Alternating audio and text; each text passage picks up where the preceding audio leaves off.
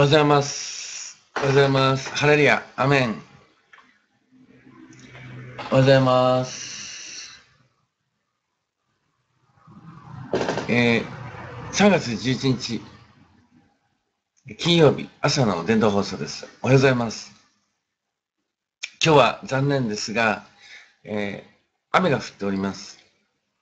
えーそれで、えー今日、今日は室内放送になります。えーはい、西条さん、レイチェルさん、おはようございます。アメン。今日も少し、え寒くてですね、えーちょっと上着を着いておりますが、えーはい、えまだ室内が温度が低いので、ちょっと上着を着ています。それではですね、まず、御言葉を見ましょうね。御言葉を見ましょう。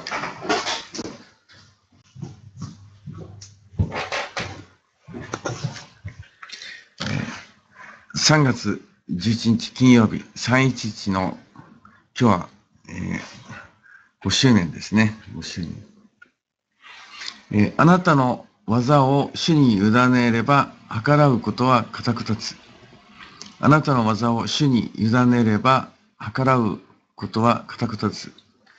Share your plans with the Lord and you will succeed. Share your plans with the Lord and you will succeed. まあ私たちですね、何かこう、何かするときですね、こう、神様と共に、えー何か計画する。神様と共に働く。ならば成功するということです。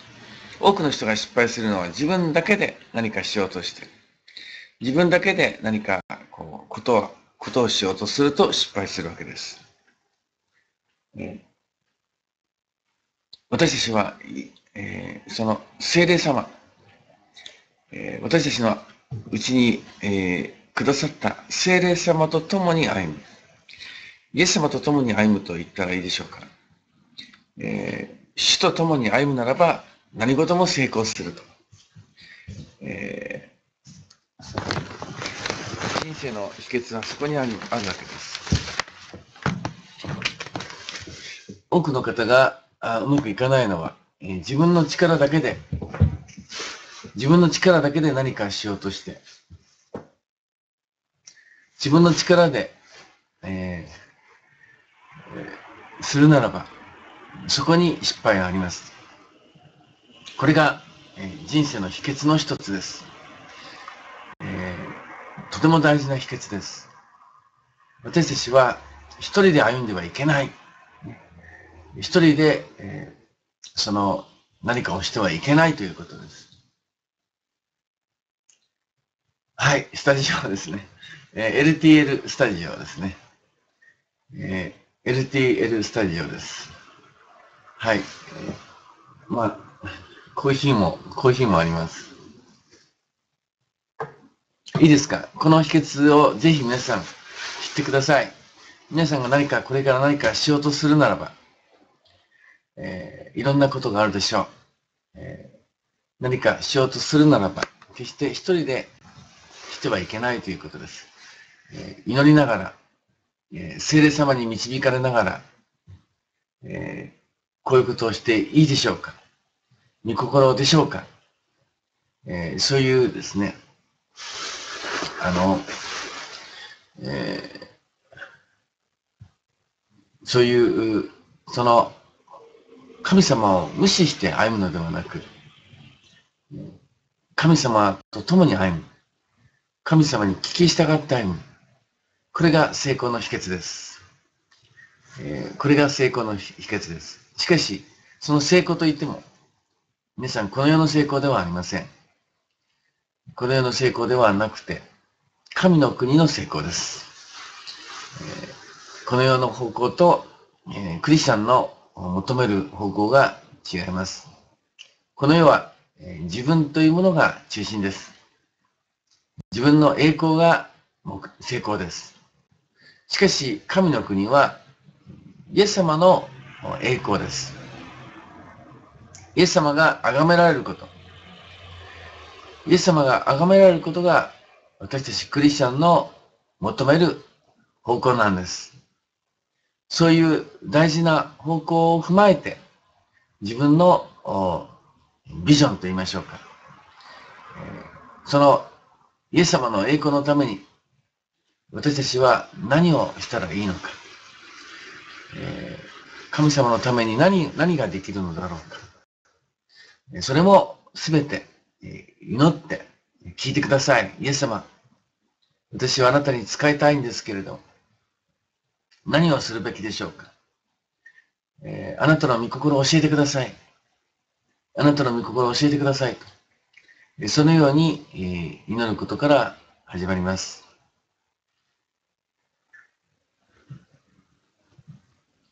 え、今日は311です。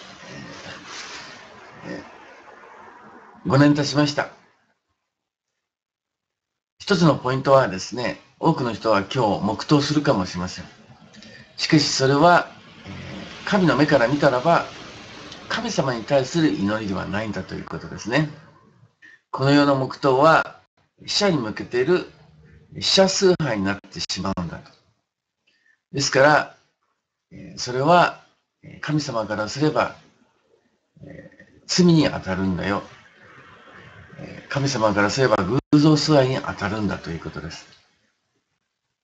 そして、もっと大事なことは、人間の災いというのは、人間の災いは偶像崇拝に対する、え、その警告であり、え、神様からのそのえー、罰だということですね。えー、災い、災害というのは偶像崇拝の結果なんだということです。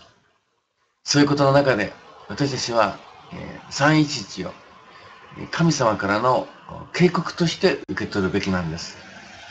そして、災いが偶像崇拝の結果ならば、その、えー、311の黙祷を、死者に対して黙祷するならば、まさにそこに大きな、ね、その問題点があるんだということです。この問題点に気づいている人は少ないんです。その問題点は何かというと、黙祷こそ、ね、その死者に対する黙祷こそ偶像崇拝で、それが災いの原因なんだということです。皆さん、この、何て言ったらいいでしょうか。えー、その、災いループと言ったらいいでしょうか。その災いループに気づいてる人が少ないんです。いいですか、えー、災いループ。それそれは、えー、災いが起きます。そして、死者に対して黙祷します。そしてその黙祷が偶像崇拝で、その災いの原因になってしまうという。つまり、人類はまさにその災いループの中で苦しんでいる。災いループの中で苦しんでいるということを皆さん知らなければいけません。その偶像崇拝から悔い改めることが大事なんです。偶像崇拝を悔い改める。これが信仰なんです。ぜひ皆さん、この真理を知ってください。そしてこの真理を述べ伝えてください。多くの人が災いループの中で苦しんでいる。え災いループの中にで苦しんでいるということです。私たちは災いを、えー、騙されて、サタンに、えー、騙されて災いを作っていることになるでしょう。ですから、私たちが神様に祝福されるためには、えー、神様に祝福されるためには、偶像崇拝を悔い改める必要があるんだということですね。はい。えー、ちょっと語弊があってですね、誤解される方もいるかもしれません。しかし、えー、これが、えー、聖書の主張です。聖書は偶像崇拝を禁じています。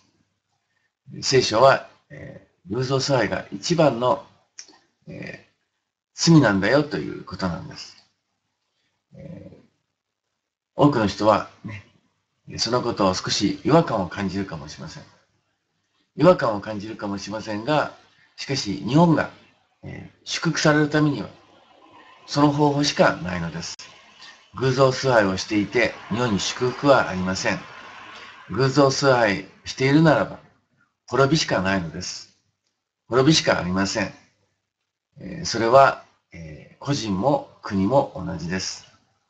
個人も国も、偶像崇拝が、その、大きな罪なんだということですね。ですから、その日本を本当に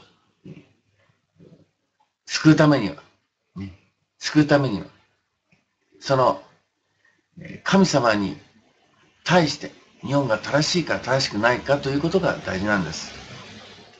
犯罪というのは法律に正しいか正しくないかということが犯罪かどうかということです。法律に違反することが罪なわけです。それと同じように、神様に対する、神様に対して正しいかどうか、神様に対して正しいかどうか、その基準がとても大事なんです。多くの人は神様無視で、神様無視で物事を考えます。それは法律、えー、その法律無視、法律を無視して生活することと同じことです。法律を無視して生きるならば、いろんな問題が起きるでしょう。それと同じように、神様を無視して生きるならば、いろんな問題が起きるんです。えー、今日の御言葉にありましたね。その主に、その主に何かをするときには人と共にしなさい。主を無して、主を無視して何かをするのでは失敗してしまいます。主と共に物事をするならば成功するということです。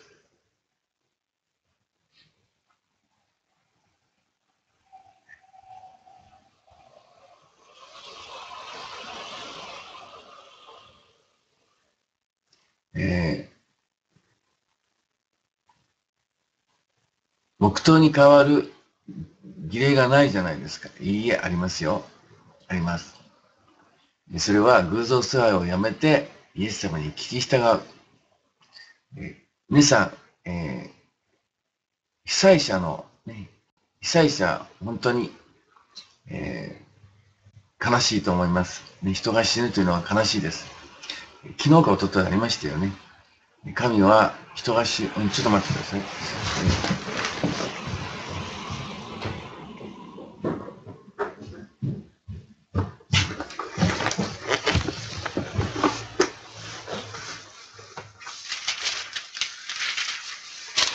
えー、おととい、ね、おとといありますよね。えー、私は誰の死をも喜ばない。えー、私は誰の死をも喜ばない。お前たちは立ち返って生きよ。えお前たちは立ち返って生きよ。いいですか？神様は人が死ぬことは喜ばないんです。神様は人が死ぬことを喜ばない。いいですか、えー、つまり、えー、偶像崇拝によって死んでしまうんだということですね。人は偶像崇拝によって死んでしまうんだ。だから本当に被災者のことを思うならば、同じことが起きないためにはどうしたらいいんだろうどうすれば災害が減るんだろうどうすれば人が死なないかということの、えー、を考えるべきではないでしょうか。黙祷することが被災者のためになると思わされてるけど、それが、えー、逆効果なんだということですね。黙祷は被災者を慰めるどころか、新しい被災者を作ってしまうんだ。皆さん、そのことをぜひ分かってほしいんです。ぜひ分かってほしいんです。黙祷がさらに次の災いを生むんだ。黙祷が次の被災者を生むんだ。ね。皆さん、そのパラドックスといったパラドックスってどういうのか、えー、その、なんていうんですかね、うん、こう、あの、えー、問題点の気づきと言ったらいいでしょうか。ね。その問題点の気づきがあるんです。ね。ぜひ皆さん、ね、えー、黙祷することが、あの、その死者に対する、その、例のように感じますけど、実は逆なんだということですね。黙祷することが、かえって新しい被災者を作ってしまうんだ。えー、皆さん、そのことに皆さん気づいてほしいと思います。それは、サタンに騙されてるんだということですね。サタンに騙されている。そう。イエス様と共に祈ることが大事なのです。そうです。ですから、日本の将来は、神様にかかってくるんだということです。いいですか？神様抜きに日本の将来がないんです。神様抜きに日本の将来がありません。多くの人は神様抜きで、さっきもありましたね。えー、その、一人で、一人でやっていってはいけないんだということですね。日本は神様がどうしても必要なんだ。日本の祝福のためには神様がどうしても必要なの。皆さんの祝福のためには、皆さんの幸福のためには、神様の祝福がどうしても必要なの。えー、皆さん、えー、一人でもこのことが分かってほしい。一人でもこのことが分かって、偶像崇拝をやめてほしい。偶像、黙祷タイムですか？えー、そうですね。あの、私はですね、あの、えー、その、なんて言ったらいいか。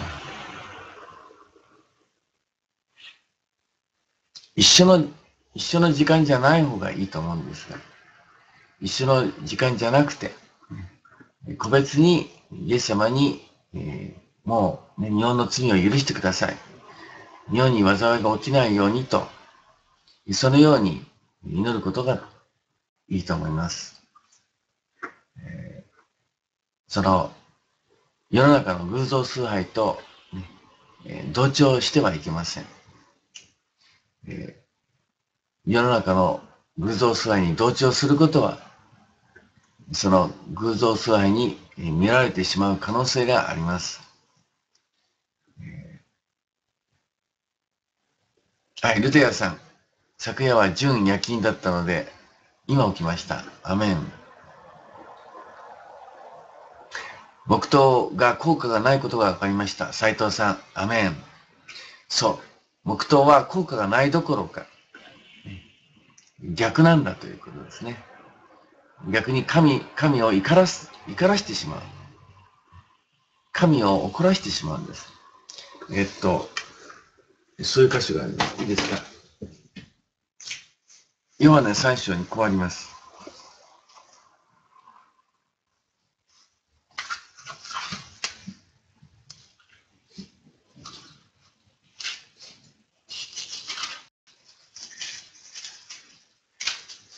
ヨハネ3章の、えー、36。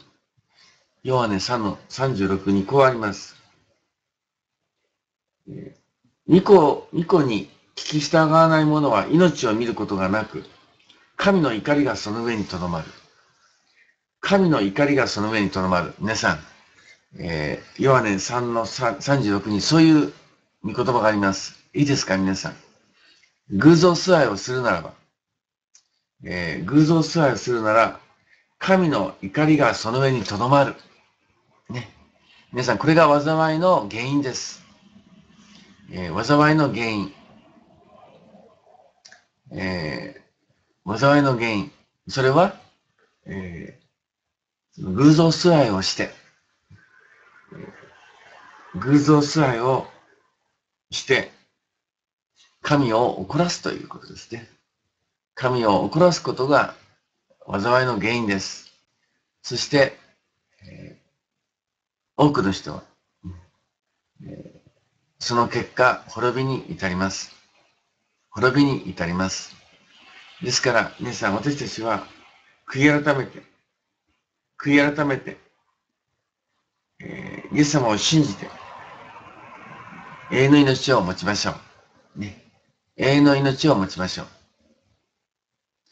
Q ちゃん、言葉が下手だけどわかります。あありがとうございます。えー、言葉が下手、下手、えー、申し訳ないですね。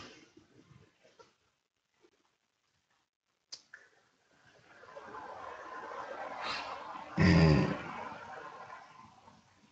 皆さん、えー、その、日本の普通と思われている習慣、日本人として当たり前の習慣、そこに皆さん、えー、疑問を思うことはなかなか疑問に感じるチャンスはないです。しかし皆さん、えー、聖書の教えで、聖書の教えで、えー、日本のその習慣や日本の、え、儀式について、え疑問を感じてほしいのです。え、当たり前のことを当たり前と思っていても、もう一度そこに、え、メスを入れる必要があるんです。え、聖書には、え偶像崇拝をしてはいけないという、とても大事な、考え方があるのです。日本は、ある意味では、偶像崇拝の国とも言えるでしょう。神社、お寺、いろいろな偶像崇拝の場所があります。木刀もその偶像崇拝の一つなんだということなんです。そのことを皆さん、私はずっと言い続けてきました。ニコ生でそのことを言い続けてきました。皆さんの中でそれを理解された方もいます。えー、ぜひ、えー、そのことを理解してください。えー、皆さん、え、原則を理解することがとても大事ではないでしょうか。原則。一体私たちは、何をしてるんだろうか、えー。どのように生きるべきなんだろうか。私たちはその原則をしっかり理解することが大事です。はい。えー、そうですね。それではですね、えっと、あとは何を話したらいいでしょうか。そうです。ですから、皆さん、えー、日本に、日本は災害大国です。えー、地震、火山、津波、台風。まあ、日本ほどですね、えー、災害大国はないと思うんですが、え、これもやはりですね、えー、地学的な問題はもちろんあるかもしれません。しかし、それは、え、その、偶像崇拝の問題でもあるんです。偶像崇拝の結果、災害があるんだということです。とするならば、皆さん、とするならば、日本が災害に遭わない方法、日本が災害に遭わない方法は、黙祷することではなくて、逆なんです。逆なんです。悔い改めて、悔い改めて、イエス様に、イエス様に、その偶像崇拝の罪を許してもらうこと。偶像崇拝の罪を許してもらうこと。これが、あの、災いを減らす方法です。災いを減らす唯一の方法です。ですから、今、えー、伝道しているわけです。えー、日本、日本に災いが多かった。災害が多かったならば、なおさら、なおさら、今、悔い改める必要があるんだということです。今、悔い改める必要があります。なぜならば、神の怒りは増し加わるからですね。神の怒りが増し加わる。今、あの、皆さん、あの、えー、その、異常気象が世界的になります。災害は日本だけじゃなくて、世界的です。世界的に災害が増えています。これは世界の偶像崇拝の結果なんです。災害が増えるというのは、結局罪が増し加わっているということですね。罪が増し加わっている。そしてこれは警告でもあるんです。警告です。神の復讐の日が近づいているということですね。神様の復讐の日が近づいています。その神の復讐の日は必ず来ます。必ず来ます。その前に私たちは悔い改めて、えー、悔い改めて、その、えー、神の怒りを沈める必要があります。えっ、と、第一ヨハネにこういう言葉がありますね。と、第一ヨハネ。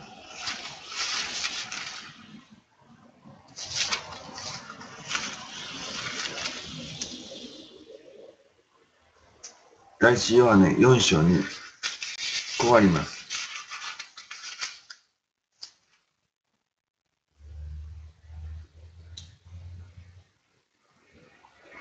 えー、4章10節に私たちの罪のために、えー、なだめの供え物としての御子を使わされました。ここに愛があるのです。いいですか、えー、神様が、神様が、その神の怒りをなだめる、神の怒りをなだめる供え物として、御子を使わされた。神の怒りが、その、十字架によってなだめられると書いてありますね。十字架は何かというと、神の怒りをなだめる供え物ということですね。十字架は神の怒りをなだめる供え物です。日本の神社はですね、非業の死を遂げた人のたたりを、えー、なだめるための、まあ、その神社です。その日後の死を遂げた人を祀って、えー、たたりをなだめるために神社がありますけど、しかし、そうではなくて、神の怒りをなだめる、神の怒りをなだめる供え物、その十字架によって、十字架によって神の怒りをなだめる必要があるということです。ぜひ皆さん、えー、このことをしっかり理解しましょう。日本を災害から防ぐには、滅びから防ぐためには、私たち一人一人が悔い改めて、偶像崇拝を悔い改めて、偶像崇拝を悔い改めて、神に立ち返り、えー、十字架によって、十字架によって罪が許される必要があるんだ。十字架によって罪が許されて、初めて私たちは神の怒りをなだめることができるんです。ぜひ皆さん、これは深刻なんです。深刻。えー、本当に、えー、ほ、滅んでしまうのです。本当に真剣なんです。深刻なんです。ねえー、人が死んでしまうわけです。えー、人が死んでしまうわけです。ぜひ皆さんの理解が必要です。一人一人の理解が必要です。はい、えー、ごめんなさい、コメントが早くてですね、えー、ちょっと、えー、読めないんですが、はい、コメント、コメントが早くてちょっと読めます。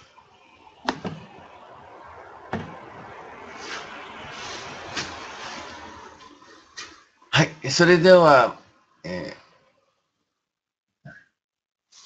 ー、明石タイムいきましょうね、明石タイム。明石タイム。はい、それでは明石タイムです。えー、イエス様を信じて、イエス様を信じて、偶像崇拝が神の怒りを増し加わるということが分かった証。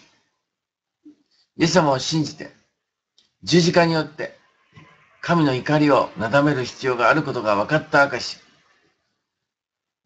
十字架によって、神の怒りがなだめられるということが分かったかし、スタート、スタート。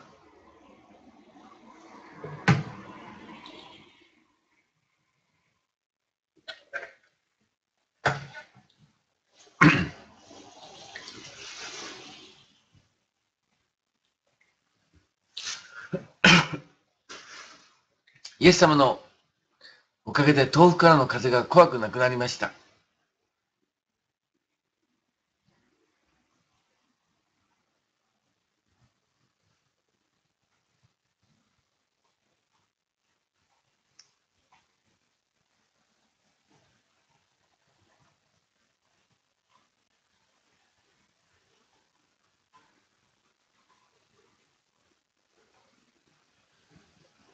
偶像崇拝、偶像だらけの人生、人生バレバレ人生。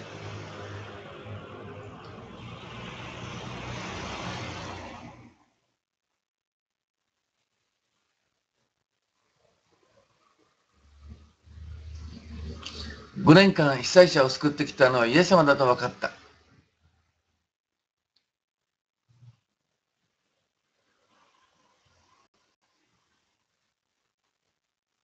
震災という日本への警告を真摯に捉えようと思った。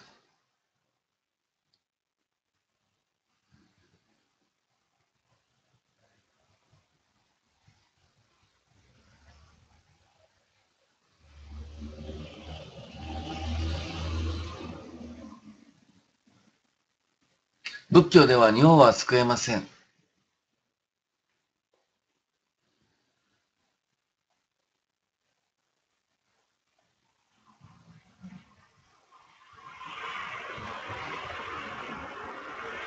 信仰したら Q ちゃんの正しさが分かった。イエス様への信仰に毎日燃えています。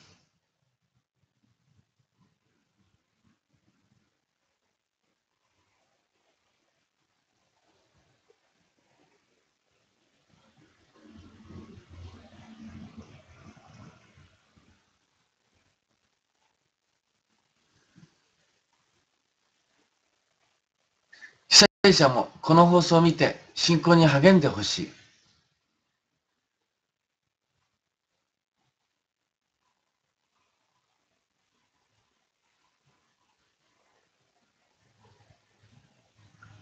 黙祷は偶像崇拝。絶対しないと誓った。被災者、被災地支援はしていきたいです。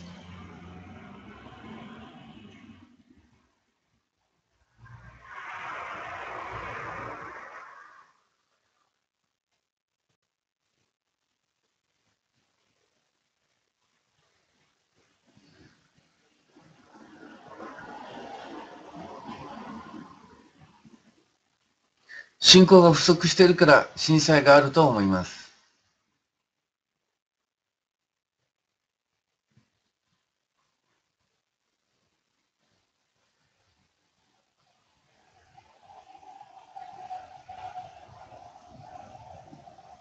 震災、災害が多いのは日本人の信仰心に問題があるからだと思った。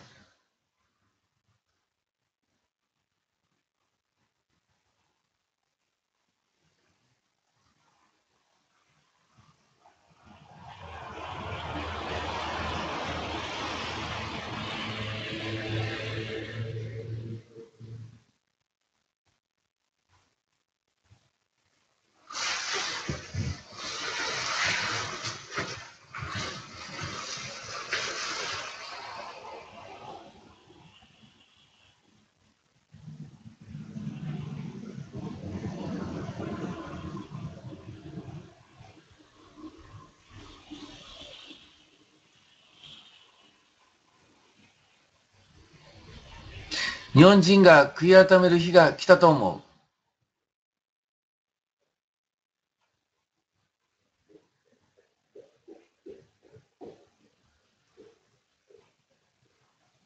犠牲者に祈るよりもイエス様に祈ろう。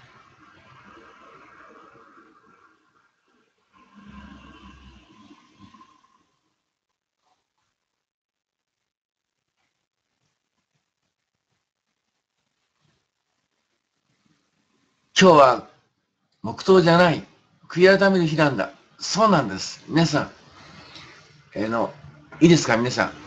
あの、被災者に対してですね、やっぱり私たちの罪がね、災いを起こしたという、やっぱりそれは被者に対して黙祷するのではなく、むしろ私たちの罪があなた方をね、殺してしまったみたいな、やっぱり悔い改めが必要なんだということ、わかりますか？本当に被災者が起こってるのは、ね、黙祷しないことを起こってるんではなくて、罪を犯していることを起こってるんです。皆さん、そのことわかりますか？被災者がもし起こるならば、人間の罪に対して起こるんです。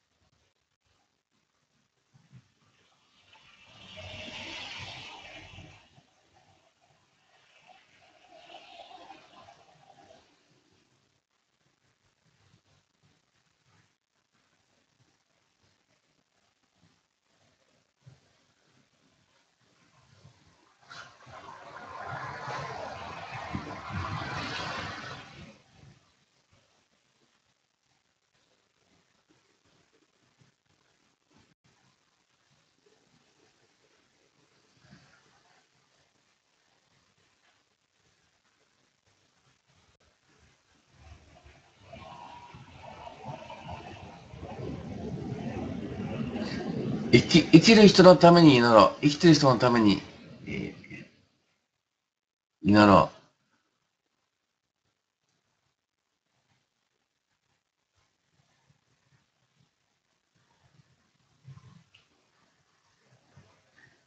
クリスチャンの、クリスチャンの黙祷はまた別です。えー、その、世界の世界の黙祷は、クリスチャンの黙祷もあるんです。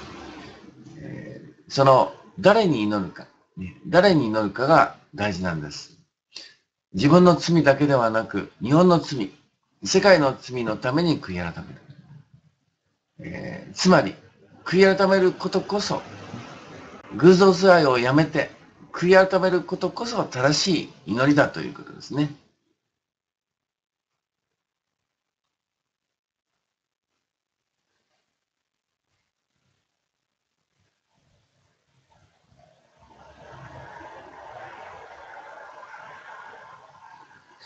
悔い改めることこそ、災害に対する正しい態度だということです。えー、悪いことをやめなければ、悪いことをやめなければ、いくら、えー、祈ってもダメなんだということです。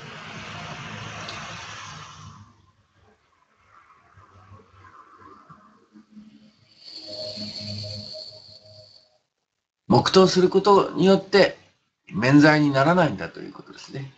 えー多くの人は黙祷することがあたかも、えー、正しいかのように、また自分、自分には責任がないかのように、えー、思うかもしれません。逆なんだということですね。黙祷することによって、まさに罪を増し加わるということです。黙祷することではなく、本当に自分の罪を悔い改める。罪をやめることが、罪をやめることが、本当の態度なんだということです。えー、皆さん、そのことわかるでしょうか？わかるでしょうか、え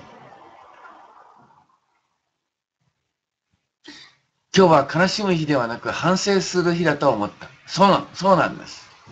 今日は悲しむ日ではなく悔い改める日なんです。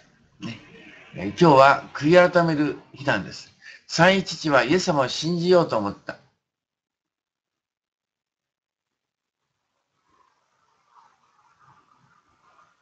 神様が災いを起こすのではなく、偶像崇拝の罪によって災いが起こる。その通りなんです。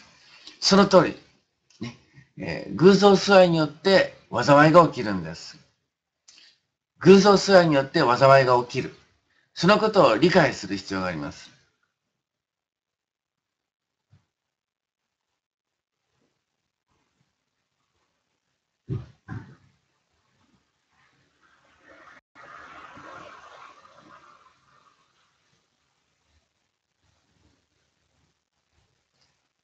そのことを理解することですね。つまり、えー、多くの人は、ね、多くの人は死者のことを考えるけれども、神様のことを考えないということですね。あ、えー、全速読は牧師になりたい。アメン。アメン。えー、牧師になりましょう。ね。牧師になりましょう。いいですか？もう一度言います。多くの人は死者のことを考えるけど、神様のことを考えない。ね。えー、皆さん、死者というのは神の御手の中にあるんです。いいですか？死者というのは人間が、えー、この慰めることができないんです。死者というのは神の御手の中にあって、神様しか慰めることができないんです。ですから多くの人は自分、自分の祈りで、えー、その神を慰めようとしますけど、それはできないんです。多くの人は、えー、その死者のことを考えて、ね、結局は、それは自分が自分のことを考えてる。だから黙祷というのは、本当に死者のことを考えてるんじゃなくて、なんか自分のことのために黙祷しているような、ね、え自分をなんか正当化するために黙祷しているような感じがします。本当に正しいのは、えー、死者のこと、または自分のことを考えるのではなく、神様のことを考えるべきですね。神様のことを考えるべき。ねえー、そのことを皆さん理解してほしいと思いますね。神様のことを考えるべきです。三一父は悔い改める記念日だと思う。黙祷反対。アメン。アメン。ね、理解されている方もおられます。ねえー、理解されている方もおられます。嬉しいです。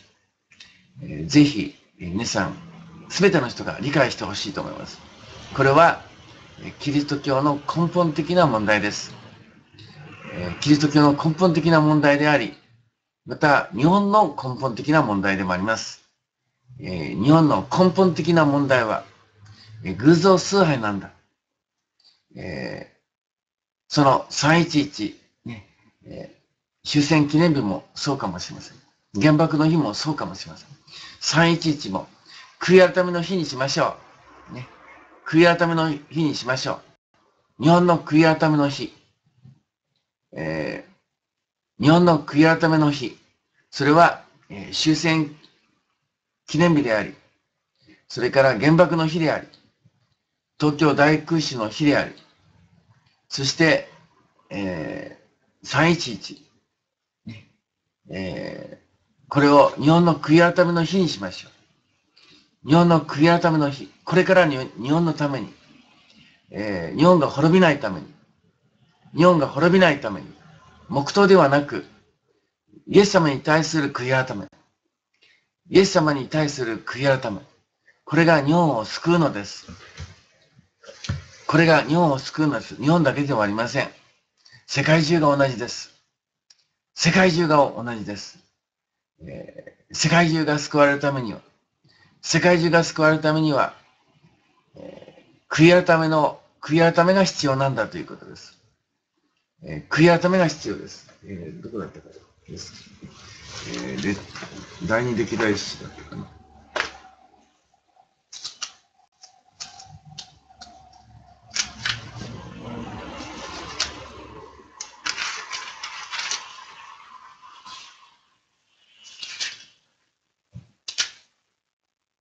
はいえっ、ー、と、第二歴代史。九章。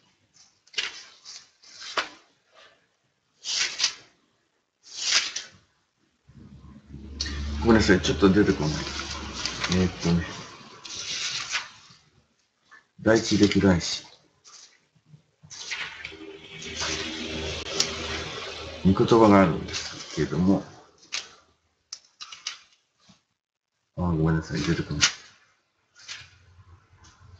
えっ、と、今ちょっと私が開けたいというところはですね、えー、私たちが、ね、えー、悔い改めるならば、へりくだって、悔い改めるならば、その、えその国を許そうという、ね、私たちがへりくだって、へりくだってえ、悔い改めるならば、えー、その国を許そうという箇所なんですけど、私たちは、えー、日本を救うために、日本を救うために、一緒に悔い改めませんか、ね、黙祷ではなく、黙祷ではなく、えー、本当に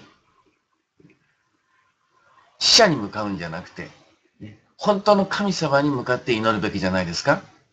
祈りというのは、そもそも神様に祈ることなんです。えー、人に向かって祈るのではありません。死者に向かって祈るのではありません。先祖に向かって祈るのではありません。祈りというのはそもそも神様だけにするものなんです。神様だけに祈るべきなんです。神を無視することが罪なんです。唯一の神様。え、この世界を作り、人間を作り、え、生きておられる神様はたった一人なんです。たった一人なんです。この神様に対する祈り、この神様に対する祈りが本当の祈りなんです。本当の祈りです。死者に向かって祈ってはいけないんです。死者に向かって祈ってはいけません。先祖に向かって祈ってはいけないのです。本当の神様だけに祈るんです。それは、イエス・キリストを通して、イエス・キリストを通して、えー、祈ることが初めてできるんだと。イエス・キリストに向かって祈ることが、初めて神に向かって祈ることができます。そして大事なのは、その神様に対する罪を認めることです。悔い改めというのは、神様に対する罪をえ認めることです。皆さん、えそれが、え日本の救いです。日本のリバイバルです。日本のリバイバル、ね、悔い改めから来るんです。え日本のリバイバルは、え悔い改めから来るんです。ぜひ皆さん、えー私たちは、まず個人が、ね、個人が、一人一人が悔い改めて、一人一人が悔い改めて、えー、神様に立ち返ろうではないでしょうか。えー、神様に立ち返ることによって、個人も救われ、そして、えー、国も救われるのです、国が救われるのです。私たちはまず皆さん一人一人が救われてほしいのです。そして救われた人たちが神の祝福を受けるようになるのです。えー、証タイムの時にですね、証タイムの時に本当に、えー、罪が許されて神様の祝福を受けるようになった人がたくさんいます。それが証です。本当に、そのえー、十字架によって罪が許される。えー、十字架によって、えー、罪が許される。えー、それが大事です。皆さん、えー、311はまさに、えー、悔い改めの日にしましょう。ねえー、悔い改めの日にしましょう。災害が起きたのは私たちの罪なんだ。災害があるのは私たちの罪なんだ。えー、そのことを理解しましょう。ね、理解をしましょう。へりくだりましょう。私が言っているのは、被災者の罪だと言ってるんではありません。ね、被災者の罪だと言ってるのではなく、日本人全全員の罪です。ね、日本人全員の罪のゆえに、ね、被災があるんだということです。ですから、皆さん、私たちこそ悔い改めなければいけないんだということですね。私たちこそ悔い改めなければいけないんだということです。はい。それではですね、えー、招きはまだちょっと早いかな。えー、招きはちょっと早いかもしれません。はい。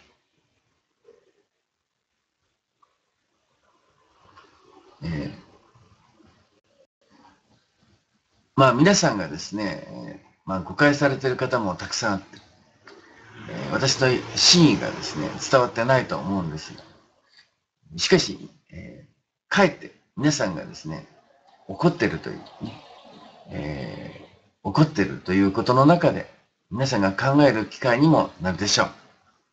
え、真実を知ってほしいと思います。皆さんがまず救われる必要があります。えー、皆さんの中にある、ねえー、罪が刺激されているんです。皆さんの心の中にある罪が、えー、その皆さんを揺り動かしています。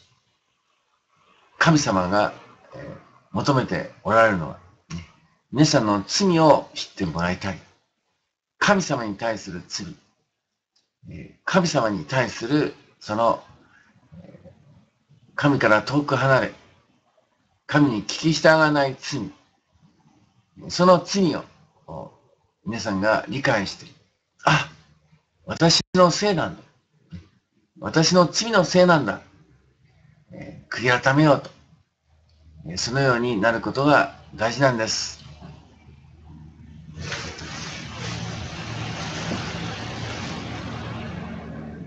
はい。えー、それではですね、えー、招きしましょう。ね。招きします。えー、今日の放送を聞いて、そして311の黙祷について、えー、ちょっと待ってください。えー、311の、えー、黙祷について、えー、その、気がついた。ね。えー、そうか。災いの原因は偶像崇拝だったんだ。えー、被災者のために祈ると言いながら、結局それは被災者のためにならないんだ。被災者のために祈ることが、結局それは自分の罪を、ね、隠すためのものであって、本当の悔い改めではないんだということが分かった。えー、その被災者のためにも、ね、被災者のためにも悔い改めよう。被災者のためにも偶像崇拝をやめようと。そのように本当の悔い改めに気づいた人、本当の罪に気づいた人、アメンと言ってください。もう黙祷をやめよう。黙祷をやめて、イエス様だけに祈ろう。イエス様だけに祈ろうと気づいた人はアメンと言ってください。アメン。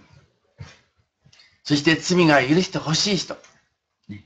え日本自分の罪、また人の罪を許してほしいと、えー、思う人。リチルさん仕事行ってらっしゃい。アメンと言ってください。アメン。アメン。アメン。アメン。アメン。アメン。アメン。Amén.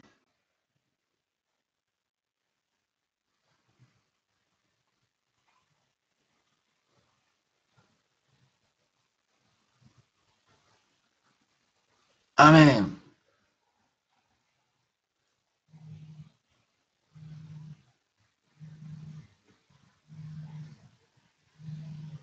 Amén.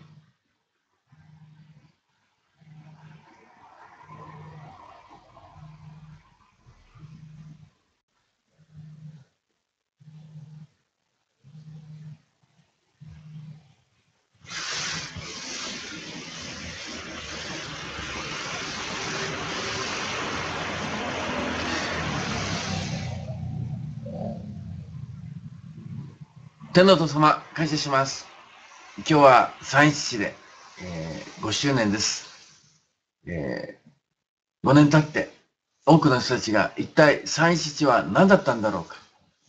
一体どういう意味があったんだろうか。多くの人は知らず知らず黙祷してしまいますが、その黙祷こそ、死者に対する黙祷こそ災いの原因だということを理解することができますように。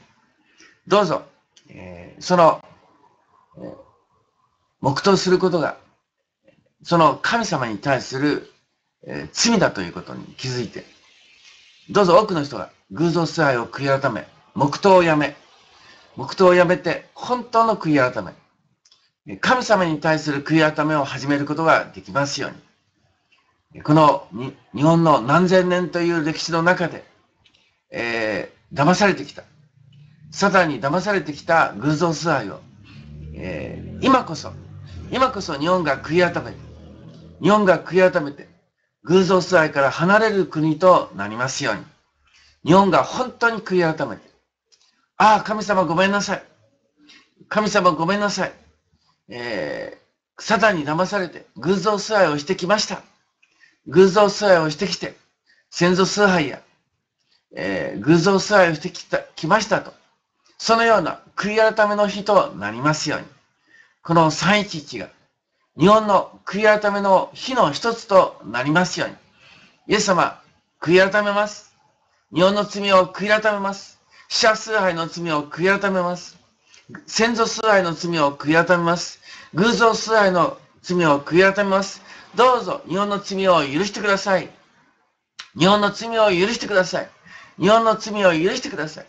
その被災者の家族が、その真理を知って、えー、そのイエス様に立ち返りますように、えー、家族も、えー、イエス・キリストによって、えまた、え希望を与えられますように、え人間の希望ではなく、この世の希望ではなく、永遠の希望、被災者の家族の人たちも救われますように、イエス・キリストにあって救われて、本当の慰め、本当の希望を得ることができますように。どうぞ、被災者の方々を慰めてください。あなたしか慰める方はいません。あなたが一人一人の被災者の、え、その家族を慰めてください。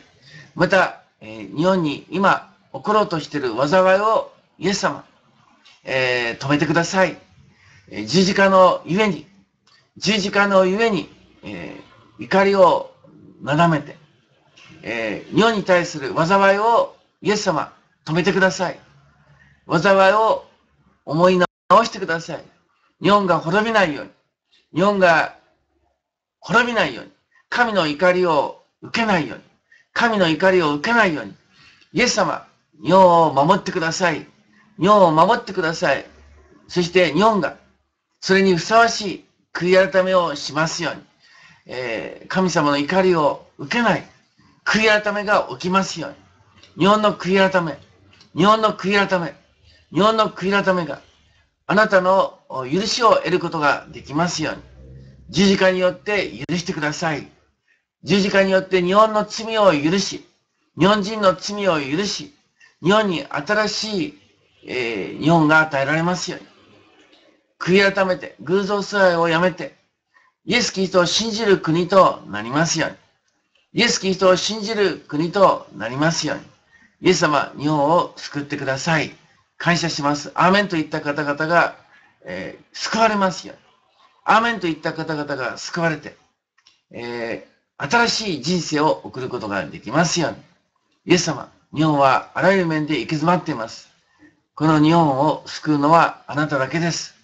あなただけが日本を救います。感謝します。イエス様の皆によってお祈りします。アーメン。アーメン。アーメン。アーメン。皆さん、えー、今日私たちは日本のために取りなししましょう。黙祷ではなく、黙祷ではなく、悔い改めの祈りをしましょう。悔い改めの祈りをしましょう。それでは皆さん、えー、今日、えー、そのような日にしましょう。イエス様に、え、その、え向かって、悔い改めの祈りをする日にしましょう。それでは皆さん、また夜8時にお会いしましょう。シャローン。シャローン。シャローン。